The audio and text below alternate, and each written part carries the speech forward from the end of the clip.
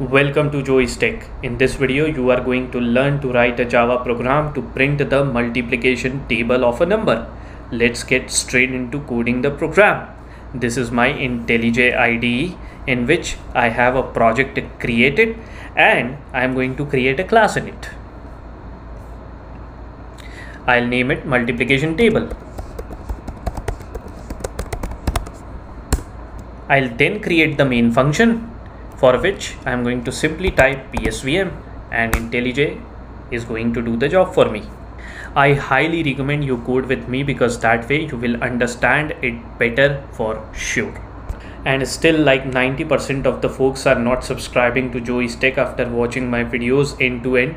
I say if you feel you have learned something from the video, please subscribe to Joey's Tech. It motivates me really to keep creating such tutorial videos for you there is a lot of ground to cover and I'll do everything to bring the easiest to most complex programs across different programming languages to you.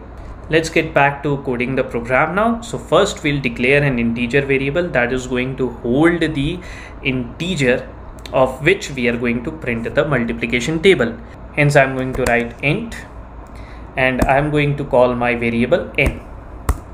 Alright now we are going to code the program in such a way that it is going to accept that integer from the console. For that we'll write the code to display a message to prompt us to enter the integer when the program runs.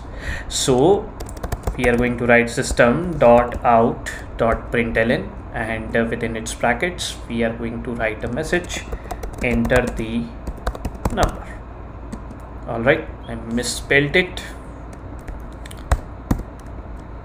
okay since we have to accept the integer as the input, we'll use the scanner class. The scanner class is available in the java.util package. So let's first import it. Hence, I'm going to simply write import java.util.scanner. Okay. We'll create a scanner class object now. So we are going to write scanner sc equals to new scanner. All right and to its constructor we'll pass system.in as the parameter this will create an object of the scanner class from the standard input of the program. This means that the program is going to read from the standard input using the scanner class object. We'll call the nextInt method of the scanner class next using which the program will read the text from the standard input but it is going to parse it into an integer so it will be n equals to sc dot. Next int. The integer that we are going to enter from the console will be stored in this variable n. Now it's time to write the main logic. We have to print the multiplication table which means we are in the need of integers from 1 to 10 and when we need integers in an incremental manner then it screams to us to use a loop Let's use for loop to get the integers from 1 to 100. Hence, we are going to write for int i equals to 1, i less than equal to 10, i plus plus. There you go. In every iteration of the for loop, the variable i is going to give us the integer equivalent to the number of that iteration. That means i will be 2 in the second iteration of the for loop, i will be 6 in the sixth iteration of this for loop and so on.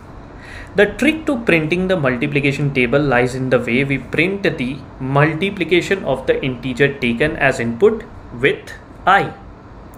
This is the result that we need so we are going to write system dot out dot println n plus star plus i plus equals to plus n multiplied by i. Basically this plus is the concatenation operator that is used to concatenate multiple elements to form a string. This line of code will first print the value of the variable n which is the entered integer then a multiplication sign which we have given as a string then the value of i after which equals to sign will be printed and finally the multiplication result of the value of n and the value of i will be printed the result of this simple expression where we are multiplying the variable n with the variable i. Finally, we close the scanner class object. It's a good practice. It helps Java reclaim the memory acquired by the scanner class object. Okay. Now we run the program to check the output.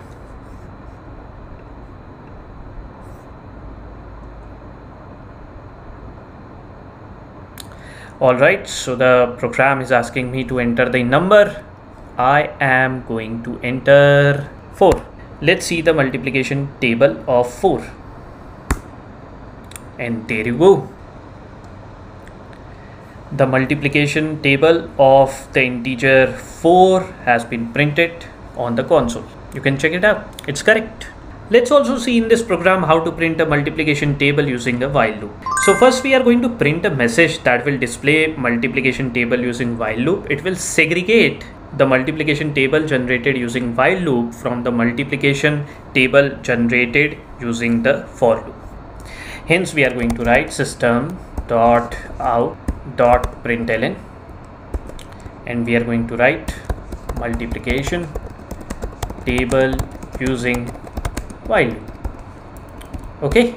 Now we are going to declare and initialize a variable m to 1 then we are going to write the while loop. And as its condition we'll write m less than equals to 10 this means that the loop will run till m is 10 the moment m becomes 11 the loop is going to terminate. Now we are going to copy this line of code and paste it over here. Okay?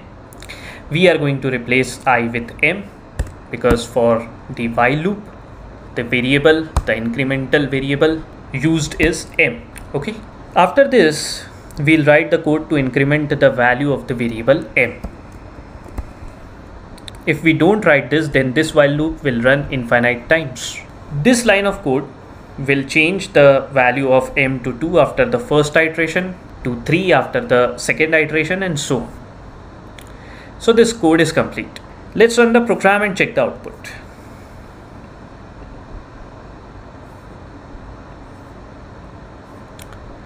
Alright, so it's asking me to enter the number again. Let me enter 5 this time.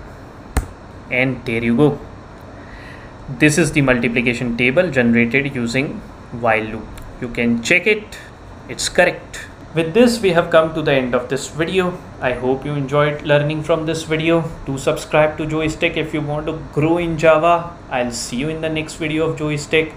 Only for this video goodbye and take very good care of yourself.